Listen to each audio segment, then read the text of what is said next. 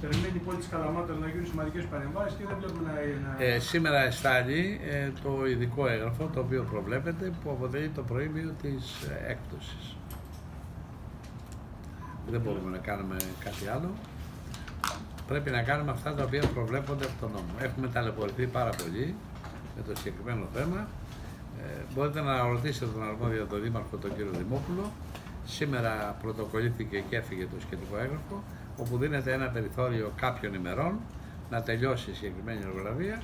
Αν δεν γίνει, αν δεν ασφαλτοσταθούν οι δρόμοι, ο εργολάβος θα είναι έκτοτος και λυπούμε ειλικρινά γι' αυτό, γιατί η έκδοση όπως καταλαβαίνετε έχει επιπτώσεις όχι μόνο για το Δήμο αλλά και τον εργολάβο, ο οποίος είναι από τη Θεσσαλονίκη, όπως ξέρετε, συμπατριώτης μας.